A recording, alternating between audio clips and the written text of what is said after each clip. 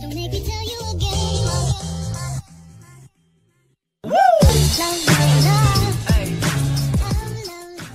stopping by guys, it's Al here playing some more Scrap Mechanic. Today we're going to be looking at, yes, another gear car. Um, I have been working on quite a few gear cars actually since the last one I showed. Unfortunately, a lot of them haven't really been improvements. They've mostly been just kind of reiterations on things I've already done.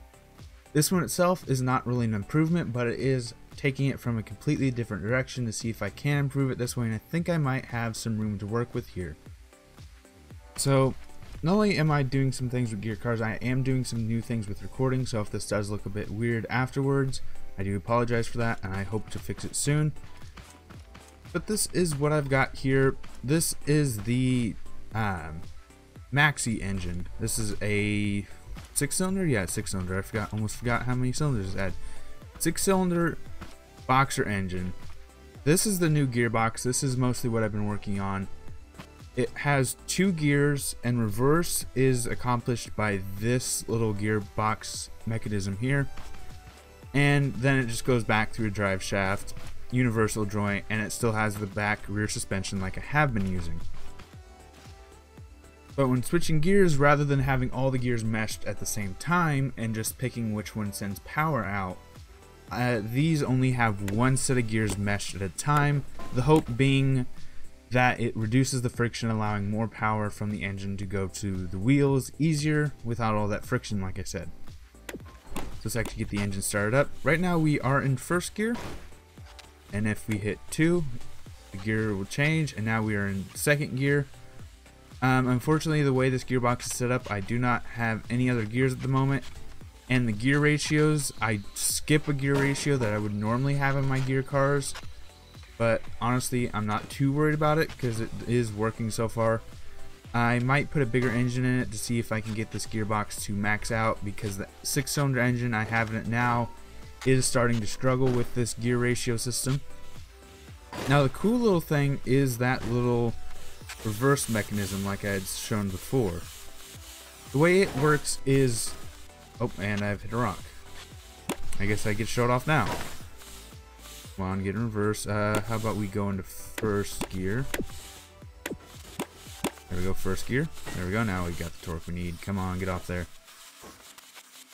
The way it works is while this arm is out, it gets caught up on the bar next to the engine and there's another small gear down there which causes the input and the output to counter rotate to rotate in opposite directions. However when that bar closes it locks that whole joint together making a single piece and it rotates together.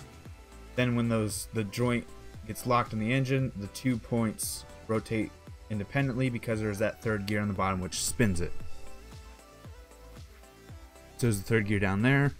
And if we go into first or no we go into forward hit one start the engine this whole thing rotates as one as you can see here and if we hit three the arm swings out and now that third gear is engaged and they counter rotate as it locks up they become one single piece and it rotates in forward so that's how that works and yeah, it's not as fast. It's not as fast. It might not be as powerful. Honestly, I think it might be a bit more powerful torque-wise.